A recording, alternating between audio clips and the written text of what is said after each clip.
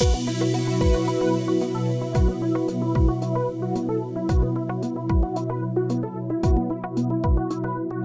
اللہ الرحمن الرحیم۔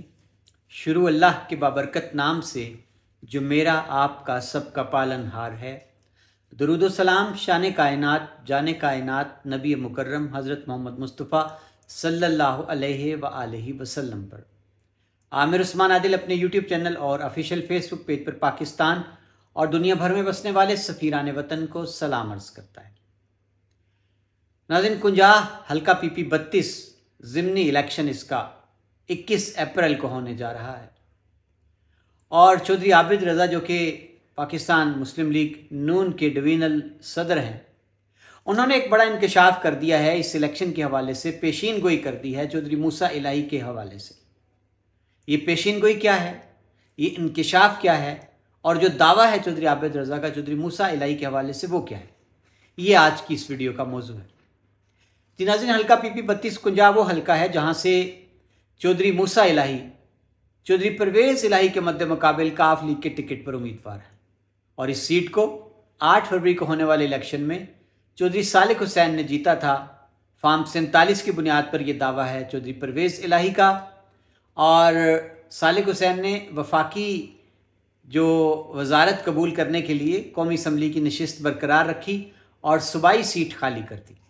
اب اس پر ضمنی الیکشن ہے۔ تحریک انصاف کے امیدوار چودھری پرویز الہی ہیں اور کافلی کے امیدوار چودھری موسا الہی۔ چودھری موسا الہی اپنی انتہائی مہم شروع کیے ہوئے ہیں کنجا میں۔ دوسری جانب چونکہ پی ٹی آئی زیر اتاب ہے، اس انداز سے ان کو الیکشن مہم نہیں چلانے دی جا رہی۔ لیکن حیرت انگیز طور پر چودھری عابد رضا جو کہ نون لیگ اور حلقہ این باسٹھ سے انہوں نے الیکشن لڑا، نون لیگ کے ٹکٹ پر اور اس بار وہ ہارے، انہوں نے آڑے ہاتھوں لیا کاف لیگ کی قیادت کو اور انہوں نے یہ تک کہا کہ چودھری وجاہت حسین، چودھری شجاعت حسین، چودھری موسا الہی، یہ سارے کے سارے اپنے خواتین جو ہیں، ان کے خاندان کی، ان کی تزلیل جو ہے وہ دیکھ رہے ہیں اور تماشا دیکھ رہے ہیں اپنے خاندان کا اور اس کے ساتھ ساتھ ان کا یہ کہنا تھا کہ جو الیکشن تھا آٹھ فروری والا، جس میں سات نشستیں صوبائی اسمبلی کی کاف لیگ کو جتوا دی گئیں اور دو قومی اسمبلی کی نشستیں کاف لیگ کی گود میں ڈال دی گئیں۔ گجرات پہ کمیشن بنا دیا جائے گجرات کے تمام حلقوں پر اور میں اکیلا اس کا مقدمہ لڑوں گا کہ جو ابھی مخصوص نشست پہ الیکشن گجرات میں ہو رہا ہے جہاں وہ مقابلہ ہے پھپھا کا اور بتیجے کا میں تو یہ بھی بتا سکتا ہوں کہ ان کا نوٹیفکیشن صبح گیارہ بجے ہو جائے گا۔ پولنگ تو شام پانچ بجے بند ہوگی تو میں ایڈوانس بتا سکتا ہوں۔ مجھ سے لکھوا لیں کہ موسیٰ علیہ صاحب کو پہلے ہی جتا دیا گیا ہوا جو یہاں سے بدترین شکست کھا کے گئے ہیں میرے حلقے سے۔ اب ان لاڈلے بچے کو وہاں سے ایم پی اے بنایا جا رہا ہے۔ اور وہاں پہ تمام پولنگ اسٹیشنوں پر بندے بٹھا دے جائے کوئی ایک ایک صافی بٹھا دیں، تو وہ جیت جائے تو میں سیاست، اگر انہیں لوگ ووٹ ڈال دیں، تو میرا یہ یقین ہے کہ اس حلقے میں انہیں کچھ چار ہزار ووٹ بھی نہیں ڈالے گا، لیکن مجھ سے لکھوا لیں کہ وہ اس شام ایم پی اے بنے ہوں گے۔ جس طرح ایک ٹائم پہ عمران لاڈلا تھا نا جی اس طرح کیو لیگ گجرات میں، اس وقت لاڈلی ہے۔ آٹھ مہینے پہلے سے میں نے متحدہ بار اپنی پارٹی کو، اپنی لیڈرشپ کو کنوے کیا کہ گجرات کی ضلع انتظامیہ بدل کے نیوٹرل انتظامیہ لگائیں۔ الیکشن کہ آپ کی سوچ سے بھی زیادہ انتظامیہ پی ایم ایل این کو ڈیمیج کر رہی ہے اور کیو لی کو جتانی لیکن اس کے باوجود میں نے کہا نا، ان کا ڈی پی او، ڈی سی او لگانے کے باوجود انہیں کسی عوام نے ووٹ نہیں ڈالا۔ تو انہوں نے انتظلی انتظامیہ لگائی اسی لیے تھی کہ ان کے نوٹیفکیشن ہو جائیں۔ تو وہ انہوں نے جس ایجنڈے پہ انتظامیہ، محسن نقوی نے لگائی تھی، محسن نقوی صاحب کے وہ مشن کو انہوں نے تکمیل کر دے دی۔ اس میں چودھری عابد رضا کا یہ کہنا تھا کہ سالک حسین نے محض بیس بائیس ہزار ووٹ لیے، وہ وفاقی وزیر بن کے بیٹھ گئے اور ان کے بھائی شاف حسین نے صرف آٹھ ہزار ووٹ حاصل کیے اور وہ صوبائی وزیر بن کر بیٹھ گئے۔ اور اس کے ساتھ ہی ساتھ ان کا کہنا تھا کہ میں چیلنج کرتا ہوں کہ یہ کسی بھی جگہ میرے سامنے آ جائیں کافلی کے امیدوار اور اپنی جیت جو ہے اس کو فارم پینتالیس کے مطابق ثابت کرتے اور اس کے بعد چودھری عابد رضا کا بڑا اعلان یہ بھی سامنے آیا کہ وہ ان کو ضلع میں قطن کام کرنے نہیں دیں گے، کھل کے ان کے سامنے آئیں گے، الیکشن جو ہے وہ جلسے کریں گے ان کے مقابلے میں۔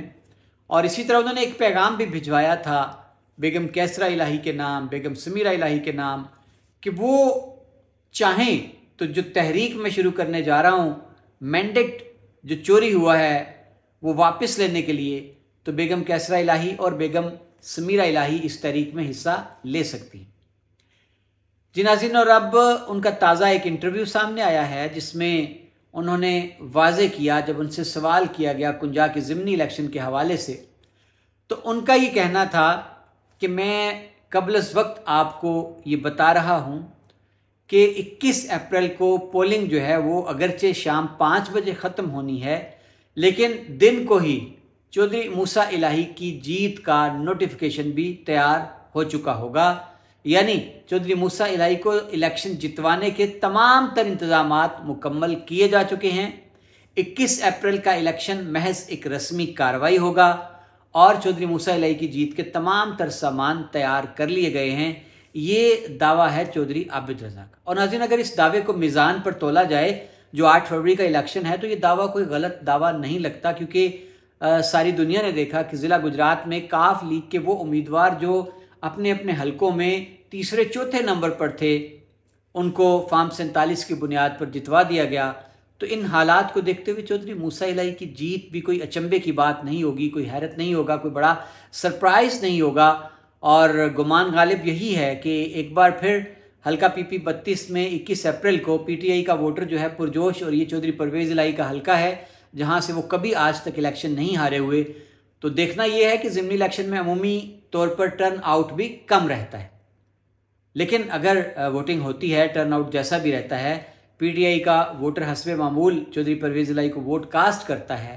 لیکن دیکھنا ہوگا کہ اس بار، چونکہ فارم پینتالیس کا پہرا تو پچھلی بار بھی دیا گیا تھا، لیکن اب کی بار کیا ہوگا، کیا بندوبست ہوگا؟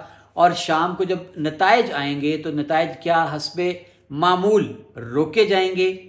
روکنے کے بعد کوئی فارم پینتالیس نئے تیار کیے جائیں گے یا پھر پچھلی بار کی طرح دو تین دن تک الیکشن کا نتیجہ روک لیا جائے گا اور پھر بالآخر چودھری موسا الہی کو فارم سینتالیس کی بنیاد پر کامیابی کا نوٹیفیکیشن جاری کر دیا جائے گا۔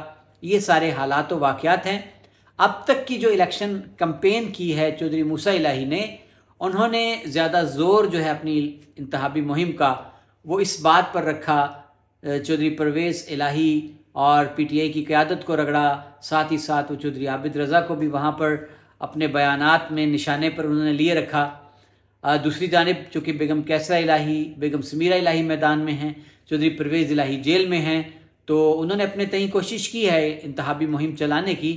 اور انہوں نے جو مرکوز رکھا ہے اپنا تمام تر اس اپنی انتہابی مہم میں توجہ کا ارتکاز وہ اس بات پر تھا کہ چودھری وجاہت حسین، چودھری صالح شافع اور موسا یہ سارے کے سارے مینڈیٹ چور ہیں اور انہوں نے بڑی بے شرمی سے لوگوں کا مینڈیٹ چوری کیا اور چودھری پرویز الہی جیل میں سوگتیں برداشت کر رہے ہیں اور ان کو شرم نہیں آتی اور انہوں نے پی ٹی آئی کے ووٹرز کو، چودھری پرویز الہی کے سپورٹرز کو ہراساں کرنے کا سلسلہ جاری رکھا۔ ڈی پی او، گجرات جو ہیں، وہ پارٹی بنے ہوئے ہیں۔